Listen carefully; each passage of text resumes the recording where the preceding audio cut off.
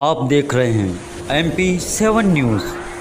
सच तो सच है, हर खबर सत्यता पर आधारित। देखते रहिए एम पी सेवन न्यूज़। नमस्कार, मैं हूँ शिवानी धाकड़। आप देख रहे हैं लाखों दर्शकों की पसंद M P seven news web and YouTube news channel. देखिए आज 28 नवंबर की ताज़ा बड़ी प्रादेशिक खबरें। रायपुर। आठवीं छत्तीसगढ़ राजभाषा दिवस के मौके पर गोष्ठी का शुभारंभ किया जाएगा। सीएम भूपेश बघेल वर्चुअल रूप से करेंगे गोष्ठी का शुभारंभ। महंत घासीदास स्मारक संग्रहालय में आयोजित होगी गोष्ठी।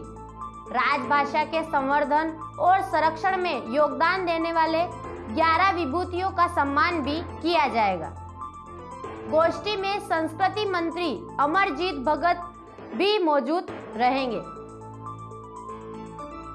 ग्वालियर, पंचायत सचिव के घर से मिली एक करोड़ से ज़्यादा की संपत्ति, एक दशमलव दो पाँच करोड़ की संपत्ति, जेवरात प्लाट की मिली जानकारी।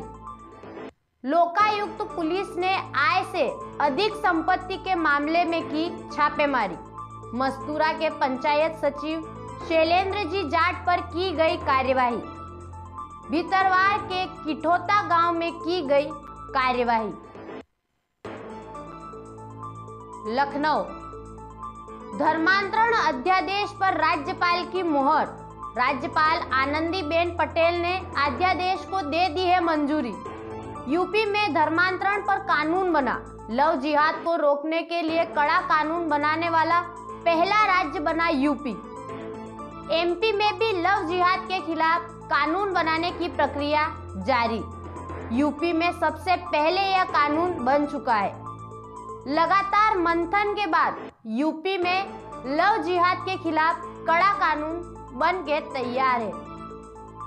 उत्तर प्रदेश में लव जिहाद करने वाले की अब खैर नहीं, क्योंकि राज्यपाल द्वारा इस कानून पर मुहर लग चुकी है।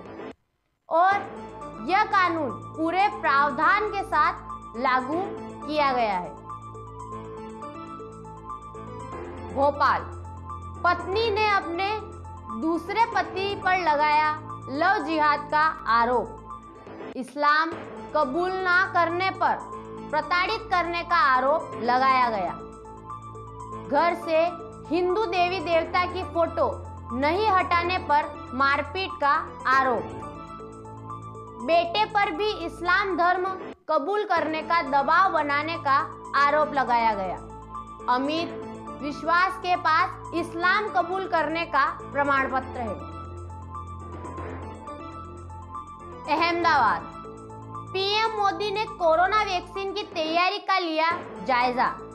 प्रधानमंत्री नरेंद्र मोदी अहमदाबाद के जाइडस केडिला प्लांट में पहुँचे, जहाँ कोरोना की वैक्सीन के बारे में उन्होंने जानकारी ली। इसके बाद पुणे के सीरम इंस्टीट्यूट जाकर भी लेंगे जानकारी और हरियाणा के बायोकोट प्लांट भी जाएँगे प्रधानमंत्री नरेंद्र मोदी। तीनों जगह जाकर प्रधानमंत्री नरेंद्र मोदी लेंगे कोरोना वैक्सीन की जानकारी। रायपुर सीएम भूपेश बघेल कैबिनेट बैठक में धान खरीदी और कोरोना संक्रमण पर होगी चर्चा। धान खरीदी की चौथी किस्त देने को लेकर हो सकती है चर्चा। मौसम की वजह से फ़सलों को हुए नुकसान पर चर्चा संभव है। आप हमारे चैनल से जुड़े रहने के लिए M P seven news channel को सब्सक्राइब करें, लाइक करें और बेल आइकन को प्रेस ज़रूर करें ताकि नोटिफिकेशन के माध्यम से हर खबर आप तक आसानी से पहुँच सके।